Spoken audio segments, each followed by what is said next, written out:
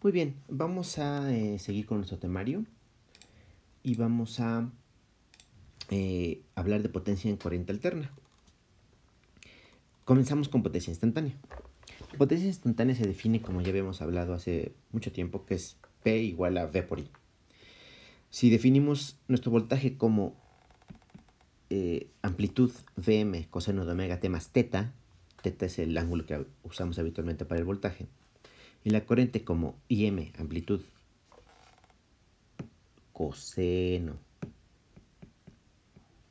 De omega t más phi, phi es el que asociamos con corriente, la potencia promedio se definiría como un medio de Vm y M, las dos amplitudes, coseno de teta menos phi, la fase, diferencia de fase entre voltaje y corriente en ese orden, y otra componente que es coseno de 2 omega t más teta más phi. Y así se define la potencia instantánea en un circuito que sería este, ¿no? Una impedancia de carga, fuente, corriente. Bien, mucho más útil es la potencia promedio. La potencia promedio se define como P es igual a un medio de Bm y M coseno de teta menos phi, que si se dan cuenta es este término de la potencia instantánea. Eh, aquí nos extendemos mucho más. Recordamos que la impedancia se define como en rectangular como R más JX. X es la reactancia. Cuando la reactancia es igual a cero, eso implica que teta menos phi es igual a 90 grados. Es puramente reactiva, casi un capacitor, un inductor, etc. Y el coseno de 90 es 0. Por lo tanto, la potencia por medio en mayúscula, potencia por medio, es 0. La potencia instantánea es en minúscula. Por otro lado, cuando la impedancia es puramente resistiva, eh, ah, perdón, se me fue, perdón, perdón, corrijo.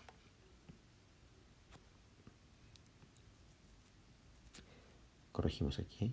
disculpen. Cuando la reactancia es cero, la diferencia entre ángulos, diferencia de fase, es 0 grados. Entonces la potencia va a ser máxima y la potencia se va a calcular como un medio de Bm y M, porque el coseno de 0 es 1. Entonces la podemos calcular con la fórmula de un medio de Bm y M o podemos regresar a fórmulas muy parecidas a las que vimos en circuitos 1. Tenemos que con el 1 medio, que son estas. Cuando tenemos solamente una resistencia, por eso es que X es igual a 0, la reactancia. Por otro lado, cuando no hay resistencia, es decir, cuando es puramente reactiva, ahora sí, teta menos phi es igual a 90 grados. Por lo tanto, coseno de 90 es 0 y la potencia es 0. La potencia promedio que absorbe una carga puramente reactiva, es decir, capacitores e inductores, es 0. En promedio absorben no potencia.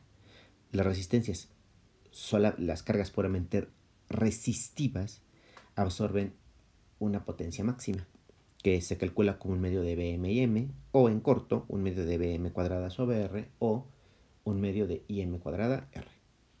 Ok. Ahora, hay un caso especial de superposición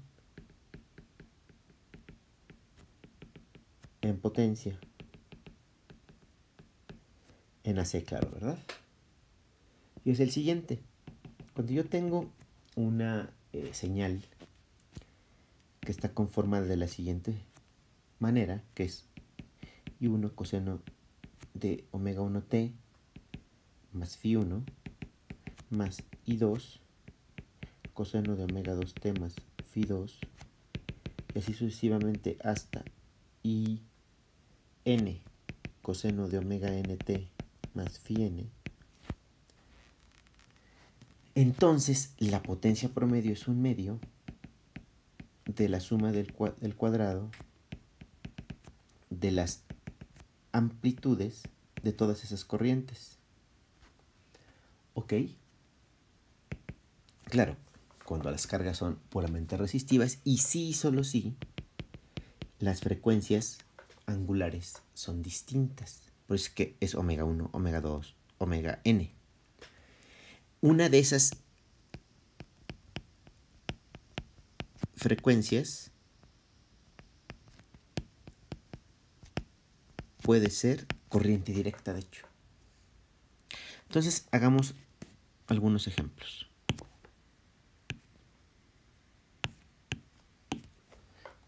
Ejemplo 1. Ejemplo 1. Vamos a basarnos en este circuito. Tenemos una resistencia, de hecho, y una corriente. Nuestra corriente en este caso va a ser, eh, perdón,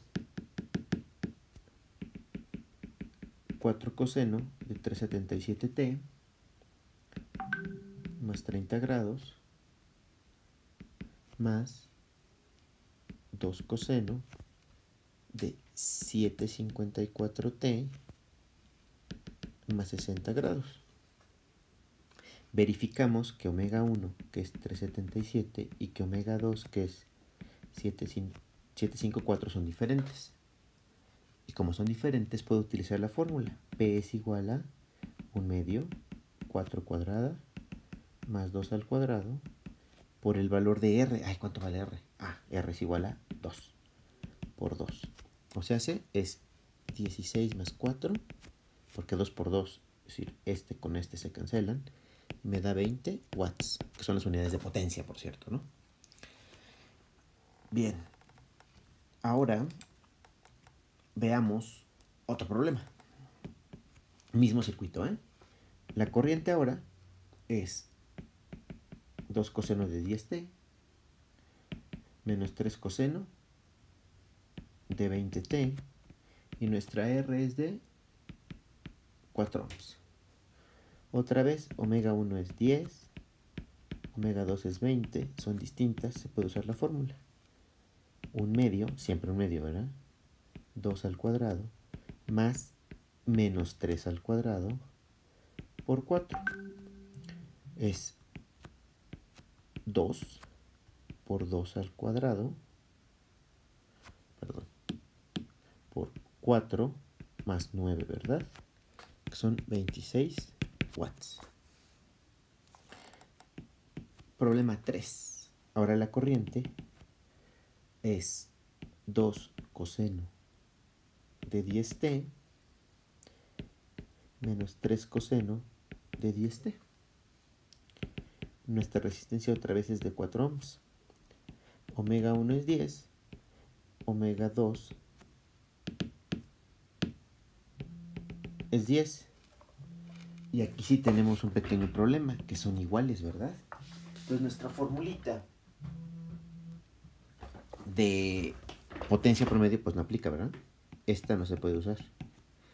Hay que encontrar cuánto vale I combinada. ¿Cómo? Pues con fasores. 2 ángulos de 0 más 3 ángulos de 180 grados. Cuando hacen eso, pues se van a dar cuenta que es menos 1. Entonces, pues la potencia ahora sí va a ser un medio de menos 1 al cuadrado por 4. O sea, hace 2 watts. Ya, es todo. Entonces, este, pues así de fácil. Ahora, vamos a hacer un problema un poquito más serio. Eh,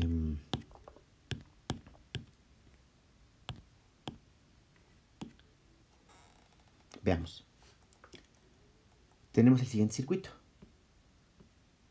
Tenemos esta fuente de corriente en paralelo con una resistencia,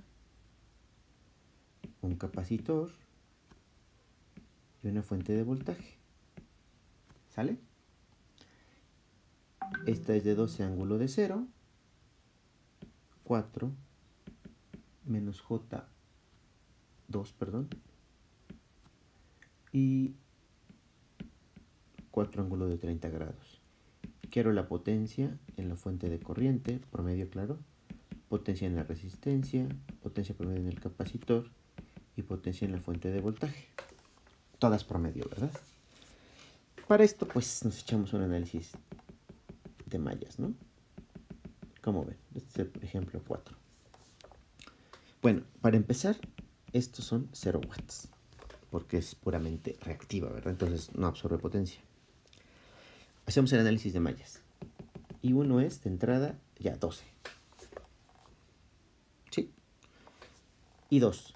Empezamos desde aquí en sentido horario. Va a ser I2 menos I1 por 4 menos J 2 y 2 más 4 ángulo de 30 igual a 0. ¿De acuerdo? O... Ah, pero sustituimos ya aquí, ¿no? Que I1 pues es 12, ¿no? Entonces tengo que 1 menos J2 y 2 es igual a 48 menos 4 ángulo de 30. ¿Están de acuerdo? Eh, y por lo tanto, pues ya sé que I2 va a ser igual a 48 menos 4 ángulo de 30 entre 1 menos J2.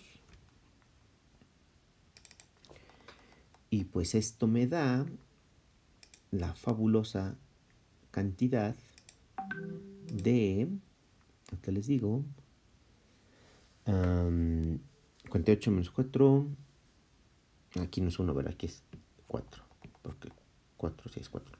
Entonces me da 9.97 ah, ángulo de 24 grados. Ahora, para encontrar la potencia en la resistencia, necesito conocer la corriente o el voltaje en esa resistencia. Este voltaje. Vamos a encontrar el voltaje porque con este voltaje también vamos a poder encontrar la potencia de la fuente de la izquierda. ¿Cómo encuentro el voltaje en la resistencia? Ah, pues muy sencillo, con ley de pseudo-ohm, ¿no? Pseudo ley de ohm. Necesito encontrar la corriente en la resistencia multiplicarla por 4, ¿no? ¿Cómo es, ¿Cuál es el voltaje en la resistencia? Es la diferencia de las corrientes en el orden de la que nos da la convención pasiva. Como puse el más arriba y el menos abajo, pues entonces es I1 menos I2 por 4. O sea, hace 12 menos 9.97 ángulo de 24 por 4. Y eso me da 19.92 ángulo de menos 54.5. ¿Ok? Entonces, yo ya puedo encontrar la potencia en la resistencia porque es un medio de 19.92 al cuadrado sobre 4. Veamos. 19.92 al cuadrado y nos da 49.6 watts. Perfecto. Ahora, potencia en la fuente de corriente, perdón. Pues la fórmula es muy clara, ¿no? Es un medio de amplitudes por coseno de diferencia de ángulos. Un medio. Amplitud del voltaje, lo acabo de sacar, es 19.92. Corriente, amplitud es 12. ¿Sí? Diferencia de ángulos. Ok, el ángulo de voltaje es... Ah, perdón, coseno, ¿verdad? Coseno de menos 54.5 menos 0. Solamente hay que tener cuidado con el ángulo. El ángulo, el ángulo, el signo. La corriente va a entrar por aquí abajo. ¿Ya vieron? La corriente entra por aquí. Y eso por convención pasiva quiere decir que la corriente no entrega perdón, no absorbe, entrega. Entonces hay que multiplicarle o poner un signo menos enfrente. Lo pongo multiplicando para que vean que lleva un signo menos. Entonces hacen ese cálculo, uno, un medio por 19 por 12, por 19.92, por el coseno de eso que está ahí, y les va a dar menos 69.4 watts negativos, o sea, se entrega, no absorbe. Potencia de la fuente de voltaje. Pues está todavía más sencillo, ¿no? Es un medio, amplitud del voltaje, que es 4, amplitud de la corriente, que es esta, 9.97, coseno, ángulo del voltaje, que es 30, menos ángulo de la corriente, que es 24. Eso me da 19.8 watts. Ahora, vamos a hacer algo muy interesante que es sumatoria de Vamos a sumar la de la fuente de corriente en el orden que está aquí. Digo, el orden de los sumandos no altera la suma, ¿verdad? Menos 69.4 más 49.6 es IRC y la de voltaje. Ustedes hacen esa suma, vamos a hacerla, menos 69.4 más 49.6 más 0 más 19.8 me da 0 watts. La suma de las potencias por medias en un circuito de alterna me debe dar 0. Y me dio 0. O sea, si estoy bien. Y pues ya, eso sería estos cuatro problemas. Luego subimos más. Gracias.